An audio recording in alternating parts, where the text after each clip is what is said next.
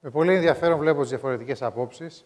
Είναι πάρα πολύ σημαντικό αυτό. Είναι η ουσία. Ε, υπάρχει η δυνατότητα να συνυπάρχουν αυτές οι απόψεις και διαφορετικά επιχειρηματικά μοντέλα στην αγορά. Εγώ τα δέχομαι και τα δύο. Θα πρέπει, κατά την άποψή μου, η Τράπεζα της Ελλάδος και η νομοθεσία να τα επιτρέπει αυτά τα επιχειρηματικά μοντέλα. Αλλά θα πρέπει να δώσουμε και πολύ μεγάλη σημασία στο τελικό κόστος συνολικά για την ασφάλιση και τη διαμεσολάβηση. Αυτόματα clauses, όπως είπε ο κ. Παπανικήτας, στα οποία στις 60 μέρες μετά 61η είσαι ανασφάλιστος και ούτε δικαστήρια, άροι πάγοι και ιστορίες για γρήγουστε, γράμματα, ταχυδρομικά, emails, τηλέφωνα, χαμένος χρόνος. Εγώ θα δεχόμουν αυτό σαν ένα ωραίο, να υπάρχει δυνατότητα ο μεσίτης, η ασφαλιστική εταιρεία να κρίνουν μέσα στις 60 μέρες πότε πρέπει να πληρώσει ο πελάτης, στην 61η αυτόματα να ξέρει ότι δεν είναι ασφαλισμένος και να υπάρχει και η δυνατότητα επιλογής στον οποιοδήποτε διαμεσολαβούντα να πει εγώ δεν θέλω να ασχοληθώ με αυτό το κομμάτι. Θα το αναλάβει η ασφαλιστική εταιρεία και θα συγκεντρωθώ εγώ σε αυτό το οποίο θεωρώ ότι είναι προστιθέμενη αξία η δικιά μου συμβούλου. Και επειδή δεν υπάρχουν και οι πελάτες μας δεν είναι ομοιογενείς, Υπάρχουν πελάτες οι οποίοι συντάσσονται με τη μία κατηγορία και άλλοι με την άλλη. Ο καθένας θα έχει τους δικούς του πελάτες. Πήγε να πεις κάτι. Τίποτα, ήθελα να πω ότι εάν δεν πληρωθούν την 60η μέρα και ο... δεν ακυρωθεί το συμβόλαιο. Α, το notice of cancellation το στέλνει ο broker. Δηλαδή, Α, το 7 μέρες notice of cancellation το στέλνει ο broker, όχι η ασφαλιστική Μετά τις 60 μέρες. Μετά τις 60 μέρες. Εάν ο broker το ξεχάσει, το κάνει, τότε υποχρεωμένος του αφαιρεί ο underwriter τα λεφτά από τον λογαριασμό του. Από τον broker. Του broker. Μάλιστα. Ωραία. Του παίρνει τα λεφτά. Όπως λένε στα αγγλικά, builds character. Εντάξει. Ωραία, να πούμε και ένα Θέλω τελευταίο. Θέλω να πω ότι είναι πολύ αυστηρά. Είναι αυστηρά αυτά όμως, ναι. Πρέπει και τελικά να υπάρχει αυστηρά, αυστηρότητα. Γενικά στη ζωή αυστηρά, στην Ελλάδα, άμα δεν πάμε αυστηρά. Δεν γίνεται τίποτα. Δεν γίνεται τίποτα. Ένα τελευταίο από τη δικιά μου την πλευρά. Το θέμα του bank assurance. Δηλαδή, μιλήσαμε για το direct insurance. Α μιλήσουμε λίγο για το πόσο απειλημένοι αισθάνεστε από την επέκταση της πώλησης τραπεζασφαλιστικών προϊόντων. Κύριε Παπανικίτη. Δεν μπορώ να πω τίποτα, δεν ασχολούμαι με αυτό το κομμάτι. Δηλαδή δεν, δεν ξέρω πώς δουλεύει Κύριε το, το back assurance και δεν Οι έχω... μεσίτες γενικά δεν ασχολούνται με αυτό. Είναι μια τυποποιημένη πώληση από υπαλλήλους τραπεζών. Όχι ένα για... από τη δικιά σας τη δουλειά. Δηλαδή βλέπετε στο back assurance ως απειλή, έχει απειλήσει τους πελάτες σας και το δικό σας κύκλο εργασιών ή δεν το βλέπετε; Στο δικό σα επίπεδο. αν κάτι επέκταση στο Bank Assurance εννοείται και την παρέμβαση των τραπεζών λόγω των δανείων να ασφαλίζουν ναι, υποχρεωτικά. Ναι, γιατί το Bank Assurance έχει πολλές ερμηνείες. Εκεί υπάρχει μια παρέμβαση των τραπεζών, οι οποίες προσπαθούν να προωθήσουν τις ασφαλίσεις σε θηγατρικές τους μεσητικέ εταιρείες ή πρακτοριακές, τις ασφαλίσεις των δανείων των πελατών τους και ως ένα σημείο το, το επιτυχάνουν. Εκεί υπάρχει μια απειλή, η οποία όμως δεν είναι, θα έλεγα, τόσο μεγάλη, διότι δεν ε, σημαίνει ότι επειδή υπάρχει ένα δάνειο και ο πελάτης είναι υποχρεωμένος λόγω του δανείου να ασφαλίσει ένα κομμάτι, τουλάχιστον να δώσει και όλη τη δουλειά του στην πρακτοριακή εταιρεία της ε, τραπέζης. Ε, εκεί πρέπει να, λέμε, κομμάτι δουλειάς πρέπει να λέμε ευχαριστώ στον κύριο Σπυράκο, στον κύριο Ζερβέα, οι οποίοι έχουν επέμβει και στις τράπεζες να γίνεται κατανοητό στον πελάτη εκείνη τη στιγμή ότι έχει επιλογή. Γιατί μέχρι πρόσφατα δεν υπήρχε. Λέει θα πας εκεί. Τώρα πρέπει να του πούνε αν θέλεις το έχω κι εγώ. Αν θέλεις, πήγαινε οπουδήποτε αλλού και πρέπει να λέγεται εκείνη τη στιγμή της πράξης. Ναι, τα νούμερα των παραγωγών των θηγατρικών των τραπεζών δείχνουν ότι αυτό δεν γίνεται ακριβώς έτσι. Αλλά τέλος πάντων, ε, στην Ελλάδα που ζούμε, εμείς είμαστε ε, διατεθειμένοι να αγωνιστούμε γι' αυτό και να δείξουμε στους πελάτες ότι υπάρχει σέρβις καλύτερο από τη δική μας πλευρά από ότι το θηγατρικό. Σέρβις, σέρβις, σέρβις. Γιώργο. Ε, θα ήμασταν τυφλοί αν αγνοούσαμε το ότι μία τράπεζα που δίνει τα λεφτά της για να χρηματοδοτήσει μία επιχείρηση, της απαγορεύεται να πιέσει, να προσφέρει και τις υπηρεσίες της στον ίδιο δανειοδοτούμενο από άλλες χρηματοοικονομικές πλευρές. Ε, δεν μ' αρέσει. Ε, υπάρχει έντονος, δηλαδή, νομίζω τα λόγια του κ. Κουμπά ήταν πολύ απαλά. Υπάρχει έντονος ανταγωνισμός, ε, φέτος έχει εκτραχυνθεί τελείως. Βλέπεις τις θηγατρικές των τραπεζών να... τις συναδέλφους μας, τις μεσίτες, τους μεσίτες ασφαλίσεων, που είναι θηγατρική τραπεζών να είναι εξαιρετικά επιθετική σε όσες εταιρείες χρηματοδοτούνται. Δεν μου αρέσει, αλλά that's life. Ε, that's life, κάπως πρέπει να πείσετε, μπράβο. Εμένα μου αρέσει αυτό. Ούτε η αγορά είναι ελεύθερη. Ούτε, δεν αρέσει, Έχω ακούσει και, και θέλω να, να, να το πω αυτό. Εμείς τρία χρόνια τώρα προσπαθούμε να βοηθήσουμε τους διαμεσολαβούντες. Υπάρχει δυστυχώς, ακόμα και στον ιδιωτικό τομέα, μια υφέρπουσα νοοτροπία ότι ό,τι μας συμφέρει πρέπει με νόμο ναι. να, να επιβάλλεται στην αγορά. Λένε λοιπόν κάποιοι συνάδελφοι μεσίτες να τους απαγορευτεί. Δεν γίνεται να απαγορεύουμε. Εγώ πιστεύω στον ελεύθερο ανταγωνισμό εντός πλαισίων τα οποία τίθενται από τις εποπτικές αρχές έτσι ώστε να υπάρχει ένα level playing field όπως λένε, δηλαδή ίσοι κανόνες και γνωστοί εκ των προτέρων στο παιχνίδι. Από εκεί και πέρα, ναι, αν βάλεις μερικά δισεκατομμύρια κεφάλαια, φτιάξεις και σε μια τράπεζα και το κάνεις. Ή αντίστοιχα, αν μπορείς να φτιάξεις μια μικρή ευέλικτη εταιρεία η οποία κερδίζει τον ανταγωνισμό ασχέτως με το από πού έρχεται, μπράβο σου και θα είσαι πολύ κερδοφόρος. Άρα να ρωτήσω και τον κύριο Μάνεση, εσείς πώς το βλέπετε το θέμα αυτό; Λοιπόν, ε, πολύ μικρή εισαγωγή. 60 με 70% των μελών της Ευρωπαϊκής Ένωσης, το ποσοστό είναι το ποσοστό που οι διαμεσολαβούντες, οι παραδοσιακοί διαμεσολαβούντες, εξυπηρετούν τα ασφαλιστικά προϊόντα. Είτε λέγεται αυτοκίνητο, είτε λέγεται ζωή, είτε λέγεται πυρκαγιά, είτε οτιδήποτε άλλο. Ε, εκτός από την ε, Μεγάλη Βρετανία, θα μου πείτε, μα είναι η μητέρα... Και τη Γαλλία. Όχι, η Γαλλία είναι σε ποσοστά υψηλά το, και η Γαλλία. Γαλλία, η Γαλλία σε, σε διαμεσολαβούντες είναι 50-55%. Ε, βέβαια θα μου πει κάποιος ότι η Αγγλία είναι η μητέρα των ασφαλίσεων. Εντάξει, και η μητέρα του ποδοσφαίρου είναι, αλλά δεν ξέρω σε πόσο αρέσει να παρακολουθούν την εθνική Αγγλία να παίζει ποδόσφαιρο. Ε, ας πάμε λίγο στις τράπεζες. Ε, θεωρώ ότι ο διαμεσολαβούντας είτε λέγεται μεσίτης, είτε λέγεται ασφαλιστής πράκτορας, είτε λέγεται ασφαλιστής σύμβουλος, εφόσον κάνει αυτό που πρέπει να κάνει, σαφώς, δηλαδή να στηρίζει την επαφή του με ένα πελάτη με ένα εξαιρετικό σερβις, το οποίο δίνει μια προστιθέμενη αξία στο προϊόν, ε, εάν καταφέρει να φτάσει σε αυτό το επίπεδο ιδανικά, δεν έχει να φοβηθεί κάτι από άλλου είδους διασταυρούμενη πώληση. Σε ένα επίπεδο βέβαια θεμητού ανταγωνισμού. Εγώ θεωρώ ότι πάρτε οποιοδήποτε πελάτη μου, σαν εκπρόσωπος κάποιας τράπεζας, να σας δώσει το πελατολόγιο όποιος θέλει και να πει ότι είμαι από την τράδε τράπεζα, θέλω να ασφαλίσει σε μένα, ρε παιδί μου, το σπίτι σου, το αυτοκίνητό σου, το οτιδήποτε. Θεωρώ ότι οι απαντήσεις στο 99,9% θα είναι αρνητικές. Λόγω της σχέσης που, σαν γραφείο, σαν εικόνα, προσπαθώ να περάσω τον πελάτη και τους σερβι που δίνω. Εδώ, στην Ελλάδα όμως, υπάρχει ένα πρόβλημα. Υπάρχει το πρόβλημα του αθέμητου ανταγωνισμού. Ο οποίος πια ξεκινήσαμε από την πίεση. Από... Δεν μιλάμε για απλή πίεση. Μιλάμε. Έχουμε φτάσει στην κατάσταση να έρχεται ο πελάτης και να σου λέει ε, πρέπει να κάνω την ασφάλεια στην τράπεζα γιατί μου είπε ο διευθυντής ότι δύσκολα θα υποστηρίξει τη χρηματοδότησή μου αν δεν φέρω και την ασφάλειά μου. Ε, τι είναι αυτό; Αυτό είναι το back insurance. Αυτή είναι η πραγματικότητα. Μην κρυβόμαστε. Ο μέσο ναι, μέσος Έλληνας, είτε καλός είτε κακός, εγώ σας λέω κακός. Σε αυτό έχετε δίκιο αυτή τη στιγμή. Και εμένα προσωπικά μου έχει συμβεί στην εταιρεία μου να μου πούνε για καρνέ επιταγών, θέλετε καρνέ επιταγών, κάνε 50 ευρώ ένα ασφαλιστικό στο νεογέννητο παιδί σου. μου το έχει συμβεί και εμένα προσωπικά αυτό και θεωρώ ότι είναι πάρα πολύ αθέμητο. Και αυτά τα πράγματα πρέπει να καταγγέλλονται και οι ίδιες οι τράπεζες δεν πρέπει να δέχονται. Γιατί δεν είναι καλή εικόνα και των τραπεζών. Και νομίζω ότι οι διοικοί των τραπεζών, όταν τις πάρεις στο πάνω επίπεδο και μιλήσεις με έναν υπεύθυνο ενός τμήματος μπακανσουνάς, θα πει αυτό δεν πρέπει να γίνεται. Αλλά η πίεση των στόχων κάτω, στα υποκαταστήματα, όταν δεν τα ελέγξεις καλά, μπορεί να φτάσει σε αυτό το σημείο. Και αυτό είναι ένα πρόβλημα. Είναι ένα πρόβλημα που πρέπει να αντιμετωπιστεί. Να σου πω μια πραγματική ιστορία. Ναι. Το 1981 όταν βγήκε το Πασόκ ήμασταν πράκτορες του Αστέρος. Μας φώναξαν λοιπόν μια επιτροπή πρασινοφρουρών του Πασόκ να μας πει ότι το επάγγελμά μας κατηργήθη. και λέμε γιατί κατηργήθη το επάγγελμά μας, διότι κατηργήθη η προμήθεια. Γιατί κατηργήθηκε η προμήθεια, γιατί στο νέο σοσιαλιστικό κόσμο λέει, δεν χρειάζονται αυτά τα πράγματα. και πώς θα γίνονται οι ασφαλίσεις, οι υπάλληλοι δικοί μας θα πηγαίνουν, έχουμε τα δάκια, λέει, έχουμε τα υποκαταστήματα, θα πηγαίνουν και θα ασφαλίζουν τους πελάτες και καθαρίστε τους λογαριασμούς σας και κάντε κάποια άλλη δουλειά. Κύριε Ζούλη, δεν σας έδωσε μια καλή πάσα για μια τελευταία ερώτηση. Έχετε λέει, έχετε λέει και άλλα πράγματα να κάνετε.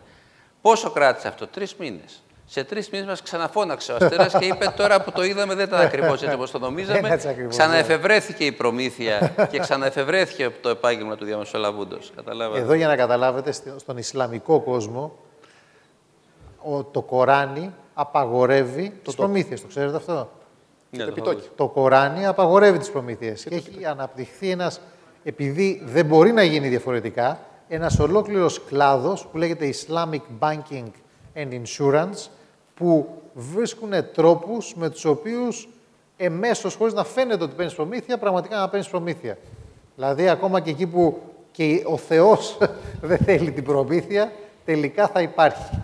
Και αυτό είναι το μήνυμα το οποίο θέλω να βγάλουμε προς τα έξω, ότι αν, θα, δεν κλείνω, θα σας δώσω μια τελευταία ε, γύρα να, να πείτε ό,τι θέλετε. Απλά έχω παρακολουθήσει ε, πάρα πολλές παρουσιάσεις ασφαλιστικών εταιριών. Μεγάλες, μικρές, ελληνικές, ξένες, οι οποίες λένε είμαστε σίγουροι ότι η ασφαλιστική αγορά παρά την κρίση θα φτάσει τα, ένας έχει πει 10 δις. Ένας άλλος, πολύ μεγάλος, έχει πει 20 δις τα επόμενα 10 χρόνια. Εσείς πιστεύετε ότι θα πουληθούν μόνα τους αυτά; Νομίζω ότι έχει μεγάλο μέλλον ο κλάδος. Το καλό θα ήταν να μην μεμψημυρούμε και να μην στρέφεται ο ένας εναντίον του άλλου με αθέμητες πρακτικές και αν γίνεται μην πυροβολείτε για, το, για τον πιανίστα, συνάδελφοι μεσίτες, αλλά εν πάση περιπτώσει, ή έστω πυροβολήστε απαλά, να, να πάμε και μια τελευταία, πώς το λένε, γύρα. Επειδή είπε για το Πασό και τα λοιπά. Πιστεύω ότι έπρεπε να έχει μια σημαία του Πασόκ στο σπίτι του ο Κούμπας. Γιατί; Είναι πραγματική Γιατί ιστορία. Επί Πασόκ, επί Πασόκ αναπτύχθηκε. Άλλο, ναι. τώρα, άλλο τώρα άμα πηγαίνει και κάθεται στο πρώτο τραπέζι του, πώς του λένε, του Σαμαρά. Όταν, όταν βρήκε όμως το Πασόκ, όταν ανακάλυψε το Πασόκ, ότι πρώτα γεννήθηκε η προμήθεια και μετά το εμπόριο. Ναι, αλλά επί Πασόκ Το ανακάλυψε κάποια στιγμή και δουλέψα. Όπως ξέρετε, είμαστε μια, μια οξύμορη κοινωνία και πολιτική ιστορία. Ναι. Μια τελευταία εισήγηση από, το, από όλους σας, γιατί έχουμε πάρει πιο πολύ χρόνο στο πάνελ.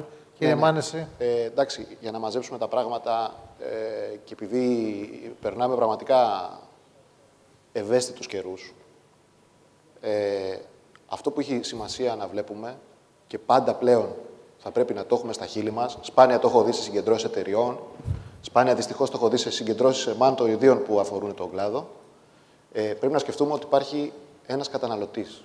Εντάξει, ένας καταναλωτής πλέον πιεσμένος, ένας καταναλωτής με προβλήματα και ένας καταναλωτής που δυστυχώς αυτός που έχει ανάγκη την ασφάλιση περισσότερο από τον άλλον είναι αυτός που δεν έχει δυνατότητα να την απολαύσει άνετα.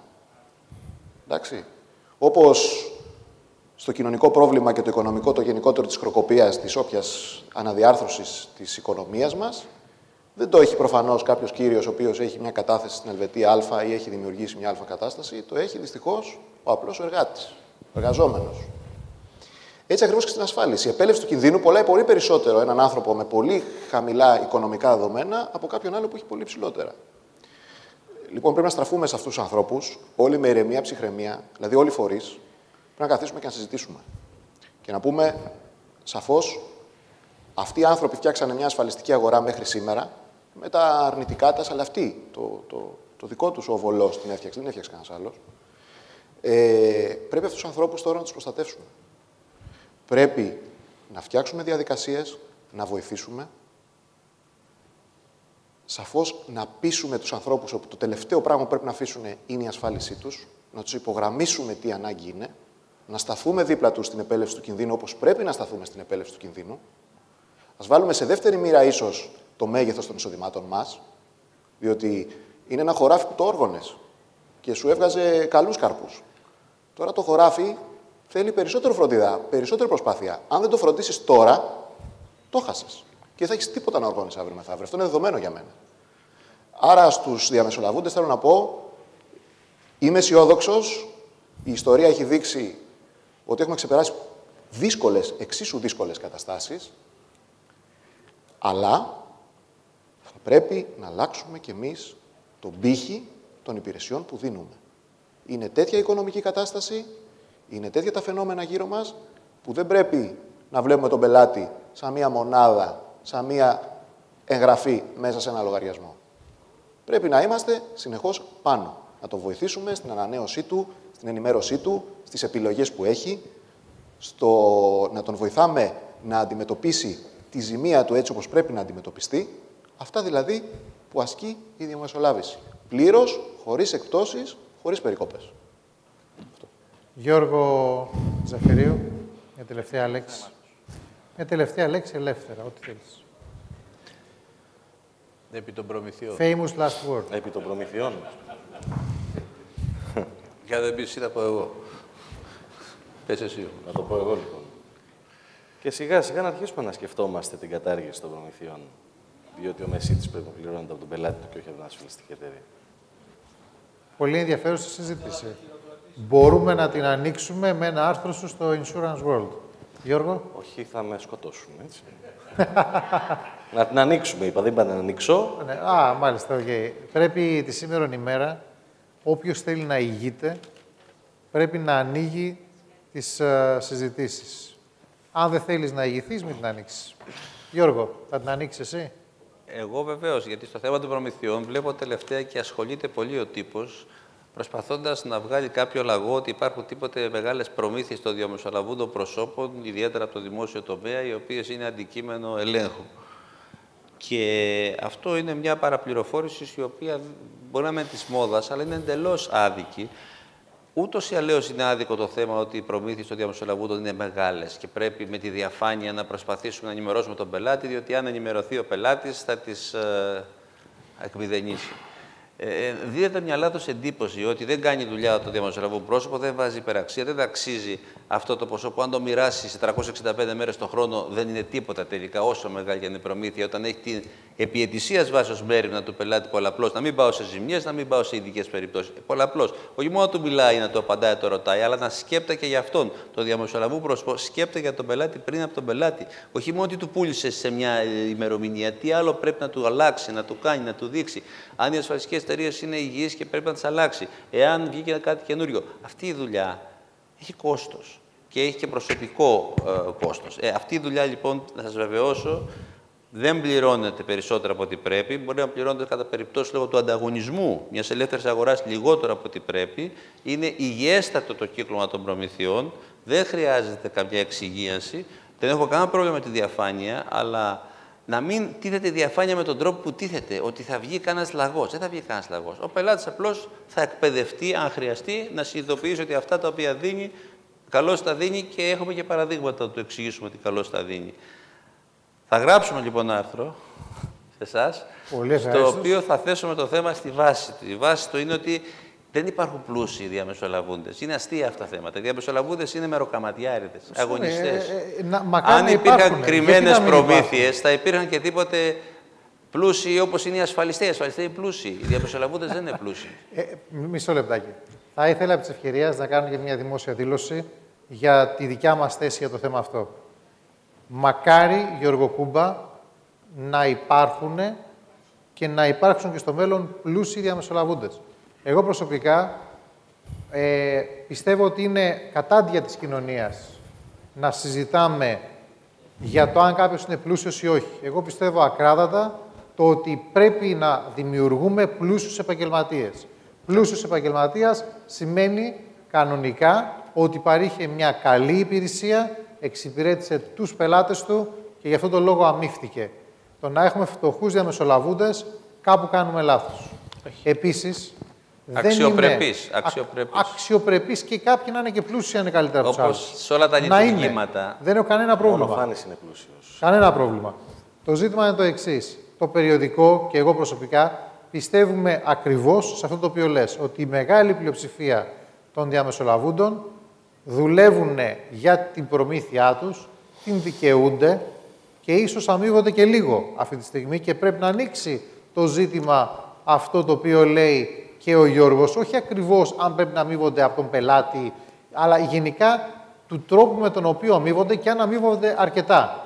Και εγώ προσωπικά λέω δεν αμείβονται αρκετά όταν παρέχουν υπηρεσίες. Ξέρετε όμως ότι, όπως σε κάθε τομέα, υπάρχει ένα μικρό ποσοστό διαμεσολαβούντων, οι οποίοι δεν τιμούν το συμβόλαιο, δεν τιμούν, δεν, δεν υδρώνουν τη φανέλα ή ακόμα και κάποιοι οι οποίοι εκμεταλλεύονται καταστάσεις.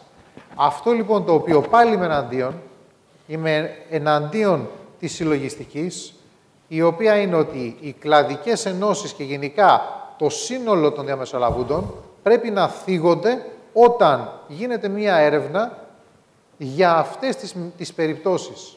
Πρέπει να το κάνουμε για να απομονωθούν και για να δικαιωθούν όλοι οι υπόλοιποι, οι οποίοι είναι προφανώς η μεγάλη πλειοψηφία, οι οποίοι δεν έχουν τίποτα το οποίο να είναι μεμπτό. Άρα λοιπόν θα έπρεπε αυτές οι πρωτοβουλίες να στηρίζονται και όχι εγώ όπως έχω ακούσει τώρα τελευταία ότι γράψαμε ένα άρθρο το οποίο μιλάει για τις κρατικές προμήθειες, α, είμαστε εναντίον των μεσητών, των διαμεσολαβούντων. Δεν είμαστε εναντίον κανενός. Μαζί είμαστε. Και πιστεύω ότι αν μπορέσουμε όλοι μας να φέρουμε στοιχεία και να αλλάξουμε οποιαδήποτε κακή πρακτική υπάρχει στην αγορά, αυτό είναι υπέρ και πρέπει να συνεργαστούμε σε αυτό. Άρα αυτή είναι η δικιά μου η άποψη. Είμαστε υπέρ αναφανδών της διαμεσολάβησης και βοηθάμε με κάθε τρόπο. Και πρέπει όλοι μαζί να βάλουμε πλάτη και δέχομαι επιστολές, άρθρα, προτάσεις, πληροφορίες και να είμαστε εμείς αυτοί οι οποίοι θα βοηθήσουμε έτσι ώστε να μην υπάρχει καμία αμφιβολία για την τιμιότητα των, της πλειοψηφίας των, των που δεν υπάρχει κιόλας, αλλά αυτό το οποίο παρατηρούμε κιόλας τώρα είναι ότι υπάρχει και έντονος λαϊκισμός. Βλέπετε εφημερίδες οι οποίες πουλάνε χίλια φύλλα και θέλουν να εντυπωσιάσουν την αγορά. Βλέπετε blogs, βλέπετε ανώνυμες προσπάθειες, βλέπετε ότι υπάρχει αυτή τη στιγμή ένας τιμό στην κοινωνία και παντού εφευρίσκουμε ε, ενόχους. Άρα λοιπόν οποιαδήποτε προσπάθεια να ε, μην υπάρχουν ένοχοι, να, να απενοχοποιηθεί αυτή η πρακτική, θεωρώ ότι είναι χρήσιμη και σωστή και καλή για τον κλάδο. Αυτή είναι η προσωπική μου άποψη και αυτή την, ε, την άποψη υπηρετούμε. Φάνη. Εγώ θα πω κάτι Ήρθε προετοιμασμένος, έτσι; Όχι, όχι, έτυχε να Εφημερίδες... Όχι, ένα κομματάκι πήρα. Και τα, και τα δύο που πήρα ήταν σημερινά. Το Financial Times ήταν το χθεσινό και αυτό έτσι διάβασα στην Αυτεμπορική σήμερα που να, πούμε, να μιλήσουμε λίγο για την κρίση. Εγώ πιστεύω προσωπικά ότι δεν πρόκειται να μας κάνουν τίποτα. Ποιοι ξένοι δανειστές μας; Ναι. Δεν πρόκειται να μας Καλά κάναμε και τους τα φάγαμε. Δεν πρόκειται δηλαδή, να μας βγάλουν από, την, από το Euro. Okay. Με, ίσως ε, αυτό κάνουν κάποιο haircut πιο μεγάλο, αλλά τα περί εξόδου, περί ε, περί επιστροφή στη δραχμή δεν πιστεύω να γίνει ποτέ. Άρα δεν έχεις λεφτά στο εξωτερικό, υποθέτω. Εγώ όλα μου τα λεφτά είναι εδώ. Okay. Και μιλάω ειλικρινά. Ε, κάποτε, και αυτό γιατί; Γιατί τους χρωστάμε πολλά. Θυμήθηκα τώρα, το 1972, δούλευα για κάποιον εφοπλιστή που λέγεται Captain Κώστας Λεμός. Ε, ο γιος του σήμερα πρέπει να έχει πιο πολλά για τον Bill Gates ε, 100 βαπόρια, πετρελαιοπηγές κτλ. Επειδή ήμουν πιτσιρικάς και του μίλαγα στα ίσα και με το καλαμπουράκι και τέτοια, και ήμουν ο μόνος που τον έλεγα κατά Κώστα, γιατί μου το είχε πει όταν είχα πιάσει τη δουλειά η γραμματέα του. Ε, του άρεσε κατά Κώστα. Μια μέρα ήταν στο γραφείο του ο Νάσης. Πρέπει να ήταν το 1972. Ε, ένα χρόνο πριν σκοτωθεί ο γιος του. 72, κάπου εκεί πρέπει να είναι. Τέλος πάντων, δεν θυμάμαι. Και συζητάγανε, μπήκα μέσα εγώ, τάχα μου για να γνωρίσω και έλεγε ο καταγό από εδώ και με έκανε για μικροδουλειέ. Και του είχα ρωτήσει τότε, του λέω, τι πρέπει να κάνουμε για να πετύχουμε; Ε, κατά Κώστα μου λέει να ρώτα τον Τέλη. Ε, έτσι μίλαγε, βαριά. Και λέω, κύριε Νάση, εσείς που πετύχατε, λοιπά, άκου λέει παιδί μου. Πάντα θα είσαι τάντ. Τάντ θα πει, θα δείχνεις λίγο μαυρισμένος. Καλό ζωισμένο, μπρονζέ, μπρονζέ. Θα μένεις σε, σε ακριβή περιοχή. Ακόμα και αν μένεις στο υπόγειο. Θα πηγαίνεις στα πιο ακριβά εστιατόρια, τα κυριλέ και τα λοιπά, ακόμα και απίνεις ένα ποτάκι. Αλλά άμα δανείζεσαι, θα δανείζεσαι πολλά. Εδώ το ξέρει. Εδώ το ξέρει. Πολύ ωραίο. Και με αυτή την αστρόσκονη από το Hollywood του, το ναυτιλιακό. Και, και, και κλείνοντας, ναι. ε, μου στείλε ο γιος μου ένα βιβλίο, το είχα πει κάπου εδώ, που λέγεται Treasure Island. Το οποίο βγήκε, έγινε best seller και εξαφανίστηκε. Ε, αυτόν τον κυνηγάνε. Αυτός είναι ο editor του Financial Times και το Economist. Δεν το πρόγραμμα διαβάζει, αλλά λέει στο τέλος. Επειδή μας λένε εμά οι φοροφυγάδες, είμαστε. Δεν λέμε ότι δεν είμαστε. Αλλά η, η Βρετανία και οι Ηνωμένες Πολιτείες είναι οι πιο σπουδαίοι φοροφυγάδες στον κόσμο. Έτσι, the most important tax havens. Tax havens... Ε, Όχι, είναι... Παράδειση. Φορολογική παράδειση. Φορολογική, παράδειση, φορολογική ναι. παράδειση. Tax havens, η φορολογική παράδειση, is the most important, είναι ο πιο σοβαρός ε, λόγος που οι φτωχοί, people, οι φτωχοί άνθρωποι και οι φτωχές χώρες θα μένουν φτωχές. Οι πλούσιοι αυτή τη στιγμή έχουν σε offshore εταιρείες περισσότερα από 10 trillions. Δηλαδή και εδώ πέρα γράφει αναφέρει όλο το βιβλίο ε, και όπως λέμε, και εγώ βλέπω τα ασφάλιστρα των πλοίων. Τα στέλνουμε Βερμούδα. Τα στέλνουμε Λουξεμβούργο. Υπάρχει, ο ο Βέρτσιν πήγε, τα γραφεία του, τα, ο πήγε τα γραφεία του στη Ζηρίχη. Έτσι, και ένα απόκομα σήμερα, αν θυμόστε τον Μάικλ Μουρ, ναι, το, το σκηνοθέτη. σκηνοθέτη ναι. Λέει, ήταν τραγικό σφάλμα να αφήσουμε μια ομάδα ανθρώπων που, κυρια... που κυριαρχείται από την απληστία να δημιουργήσει στην Αμερική μια κοινωνία με 46,2 εκατομμύρια να ζουν στην ανέχεια. Συμφωνώ απόλυτα σε αυτό. Ε, ακριβώς αυτό είναι η ουσία ότι θα πρέπει να υπάρχει regulation το οποίο την ελεύθερη αγορά να, τους, να τις βάζει κάποιους κανόνες, να λειτουργεί σωστά εις όφελος όλων. Αλλά από την άλλη μεριά, το, οι κοινωνίες αυτές, οι Ηνωμένες Πολιτείες, όχι τόσο πολύ τώρα τελευταία, η Βρετανία λίγο πιο πολύ και κάποιες άλλες συντεταγμένες πολιτείες, παρά το tax evasion, παρά την φοροδιαφυγή, έχουν να χρηματοδοτήσουν τους πολίτες και την πολιτική την οποία κάνουν. Στην Ελλάδα, δυστυχώς, μαζί τα φάγαμε, είπε κάποιος, αλλά τώρα ζητάμε από άλλους να μας τα πληρώσουν. Εν πάση περιπτώσει, εγώ εύχομαι να πάει καλά όλη αυτή η υπόθεση, γιατί η αγορά δεν μπορεί άλλο να... Ένα πράγμα, δεν μπορεί την αβεβαιότητα. Δεν μπορεί να μας σώζουν σήμερα ή να μην μας σώζουν αύριο. Να, γίνεται, να μιλάμε για χρεοκοπία ή για σωτηρία. Ας αποφασίσουν, εν πάση περιπτώσει, τι θα γίνει οι προύχοντες της Ευρώπης και της Ελλάδας, για να ξέρουμε και εμείς τι θα κάνουμε. Σας ευχαριστώ πάρα πολύ.